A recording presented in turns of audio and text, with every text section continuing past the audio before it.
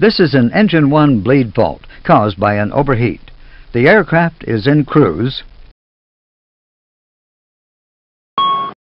You hear the single chime and see the master caution light. Extinguish the master caution.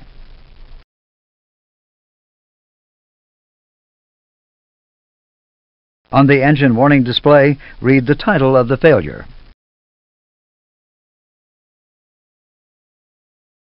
The Engine 1 bleed system has failed. On the bleed system page, which has been called automatically, the bleed air temperature is displayed amber because it is abnormally high. The amber fault light on the Engine 1 bleed push-button switch confirms the failure. The bleed monitoring computer detects the overheat and automatically closes the bleed valve to protect the system. With the valve closed, the bleed pressure falls to zero and the temperature decreases. The Engine 1 bleed system is no longer available. Notice that the Engine 1 bleed push-button switch fault light remains illuminated. This means the overheat is still present. The fault light will remain illuminated until the failure has disappeared. Perform ECAM action. Set the cross bleed selector to open.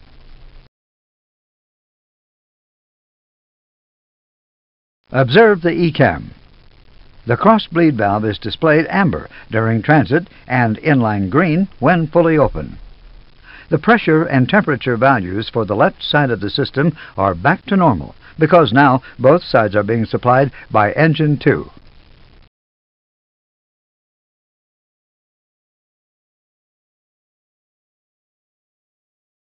After review and confirmation, clear air.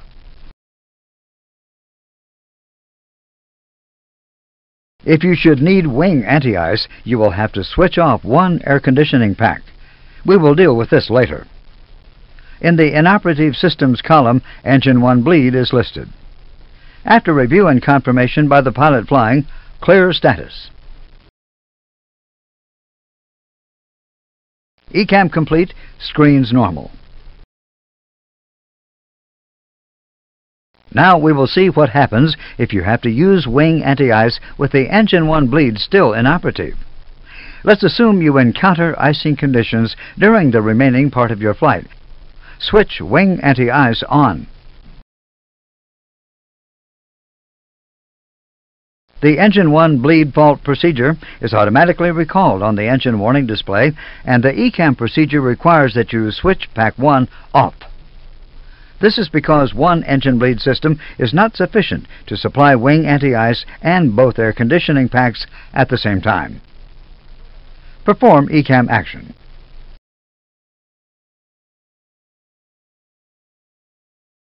After review and confirmation, clear air. On the status page, Pack 1 has been added to the Inoperative Systems column. After review and confirmation, clear status.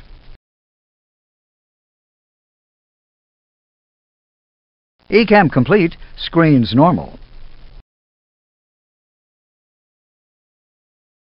We will continue by adding another failure to your previous configuration. This will be a left wing leak. On the engine warning display, read the title of the failure. On the system display, the ECAM bleed page is automatically presented. On the air conditioning panel, the indications from the previous failure remain unchanged. The title of the failure indicates that a bleed leak in the left wing has been detected. The left side of the bleed system has to be shut down in order to prevent any damage from leaking hot air.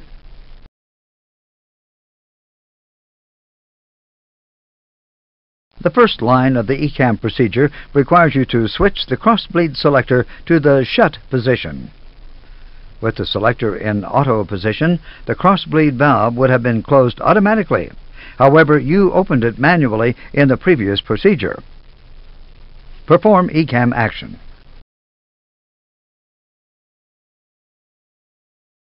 Observe the indications. The cross-bleed valve closes the pressure in the left bleed system returns to zero. Since there is no bleed air, the left wing anti-ice valve indication becomes amber. The wing anti-ice indications will be explained further in a later module. Continue ECAM action.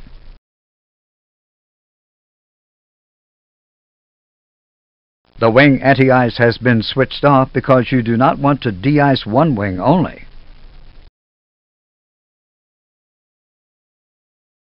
The ECAM advises you to avoid icing conditions for the remaining part of the flight. After review and confirmation, clear air. The status page also informs you that you must avoid icing conditions. The wing anti-ice has been added to the inoperative systems column. The engine 1 bleed and pack 1 remain from the previous failure. After review and confirmation from the pilot flying, clear status.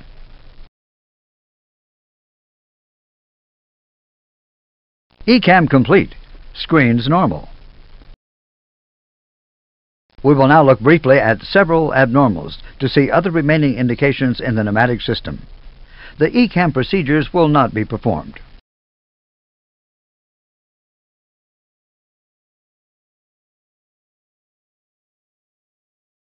In normal operation, the cross bleed valve automatically opens when the APU bleed is switched on. If it should fail to open, there is an ECAM caution and the cross bleed valve is displayed crossline amber to indicate disagreement.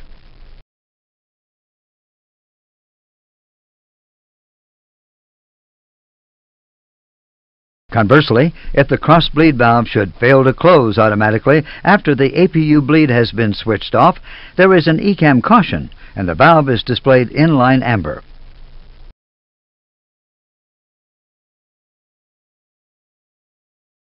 The engine bleed valves and the high pressure valves are also displayed amber if their position disagrees with the normal position.